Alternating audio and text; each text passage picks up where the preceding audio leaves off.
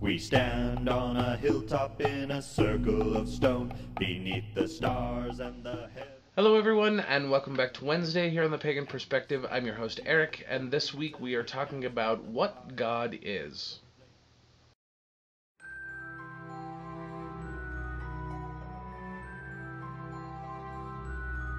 With the spirits and our voices rising higher and higher.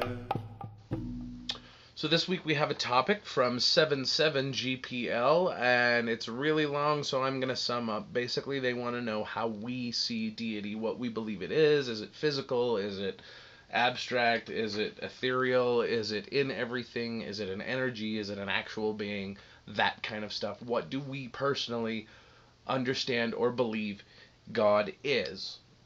So rather than going through this entire you know short story of of what they believe you know the basic three concepts are i'm just going to go straight into what i believe. Now you have to understand very much like kara said yesterday uh, this is my opinion and my belief and my understanding. If you don't agree you're perfectly welcome to disagree I may have some of you looking at me like I'm some kind of ass at the end of this, but this is how I feel and this is what I believe. So, to jump straight into it, I believe that God is not a thing. I believe that God in general, or gods in general, are not what most people believe or understand them to be. That is my opinion.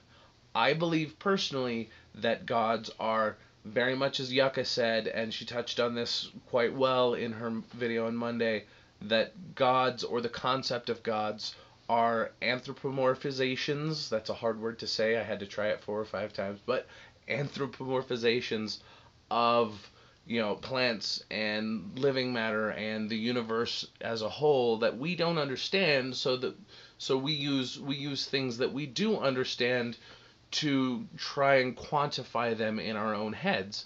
There are things that are beyond at this point quantum physics that you know the the greatest minds on earth can't figure out. Many people attribute that to, you know, quote unquote God.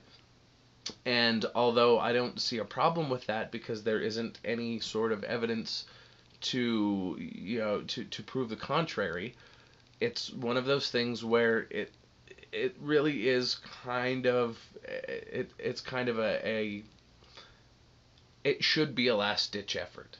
Now that's that's one way that I see deity is it is us bestowing human-like characteristics onto things that have no human characteristics. Uh, you know, via plants, animals, universal ideas, um, you know, social constructs that would otherwise just be, you know, unjustifiable or unquantifiable. Now, the second part of this is I believe that very much the gods, and this includes all of them, are uh, the the best and worst of humanity's uh, archetypes. The archetypes of gods are what we want to be, what we should try to attain in ourselves and what we should be trying to live up to in ourselves and as a society and as a human race. Uh, you know, the, the things where all the best parts of the gods is what we should try to be like, and all of the worst parts of the gods is what we should use as an example of what not to do. Now, this seems like a really, really simplified version of things, and I do love the mythology, and I do love to venerate the mythology and the gods as as they're seen by most people.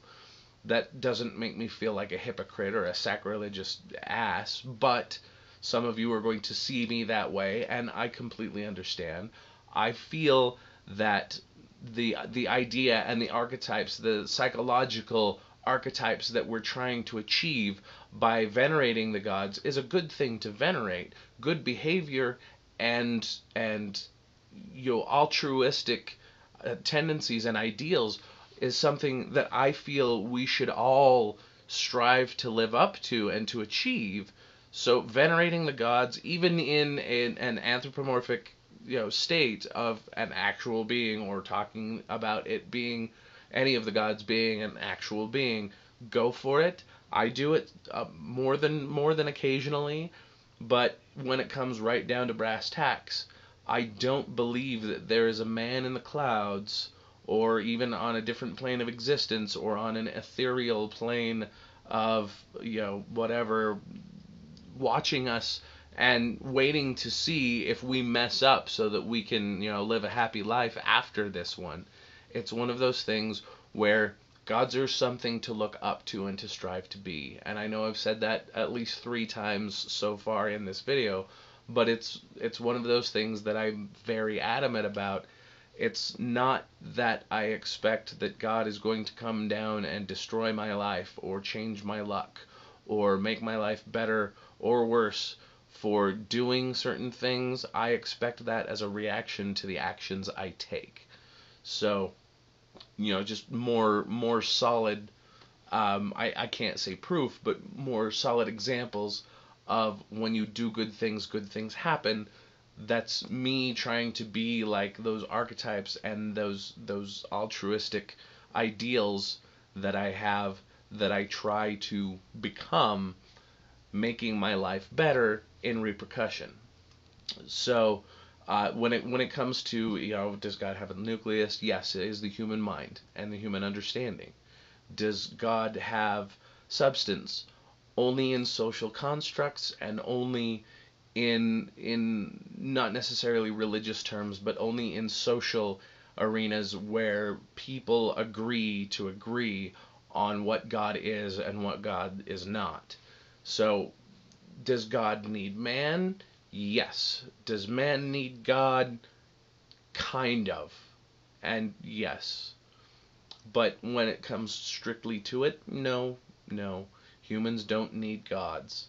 I mean, ask any atheist, I mean, true, honest atheist, and they will tell you that God is an unnecessary construct. I happen to disagree because common, you know, a lot of common people need a God in their life to look up to for protection, for guidance, for things like that. If that's what you're using God for and as, more power to you. And I am a little jealous of that sometimes, but I can't wrap my ra- my my ragged little head around it. And uh, you know that's that's kind of how I see it. So yes, God needs us. We, as a general population, need gods, but individually, I don't think that's an absolutely necessary thing. And, you know, if you have any more questions or comments or concerns about my views on gods, or God, gods, goddesses, all of the above, and how I feel about those constructs and in more specific detail, if you have any questions for me, feel free to post any of those comments or video responses. Um, we love to see those on the pagan perspective. We, we like to see your faces uh, when you're giving us your opinions and we do like to see your opinions. So feel free to leave all of those in the comments section below or a video response. Thanks for watching this, everybody, and of course, until next time, Odin be with you. So we stand on a hilltop in a circle of stone, beneath the stars and the heavens and the mysteries unknown. And we sweat to the drum beats as we dance round the fire, with the flames and our passions rising higher and higher, with the spirits and our voices rising higher and higher.